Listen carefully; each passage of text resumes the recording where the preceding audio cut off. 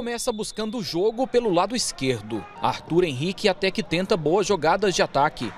Arnaldo do Dragão até chega na linha de fundo pelo lado direito e faz o cruzamento. Bruno Mendes sobe mais do que André Luiz e afasta o perigo. O Dragão tem sede de gol. Aos 26 minutos, o atacante André Luiz recebe pela direita, entra na área e bate cruzado. Gol, mas o juiz anula o lance por causa de impedimento. O Atlético Goianiense continua pressionando, chutão de longe, e o goleiro Daniel do Inter faz boa defesa. O primeiro tempo termina sem gol. Os times se mostram organizados em campo, mas mesmo assim criam poucas chances de gol no primeiro tempo. Será que para a etapa complementar, ambas equipes voltam mais enérgicas?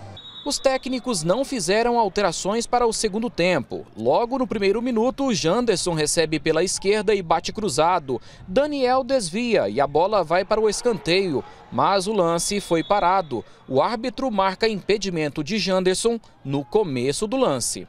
Em jogada perigosa, Arnaldo recebe e toca para João Paulo. O meia passa pela marcação e chuta da marca do pênalti. Bruno Mendes, zagueiro em cima da linha, salva o time colorado.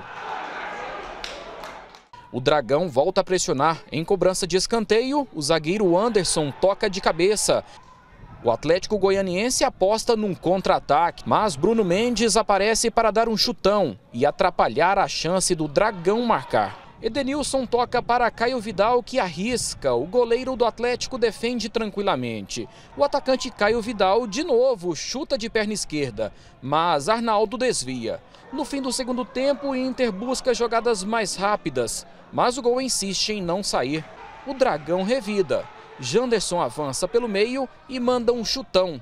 Daniel defende.